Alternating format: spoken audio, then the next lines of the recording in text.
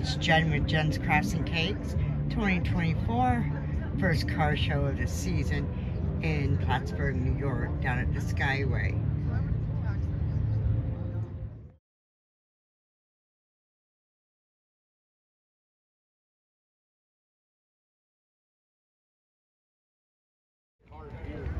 Yeah, the year they got a can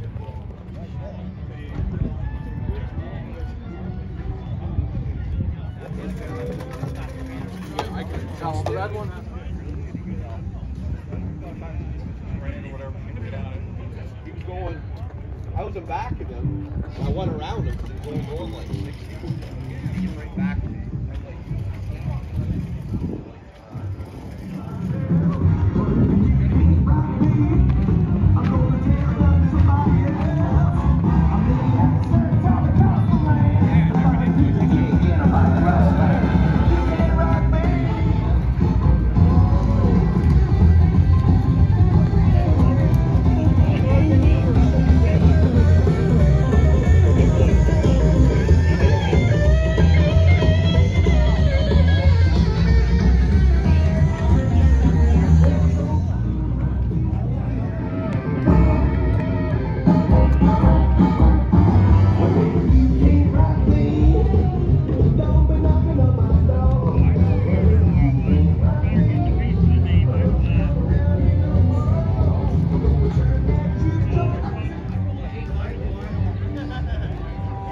Thank you.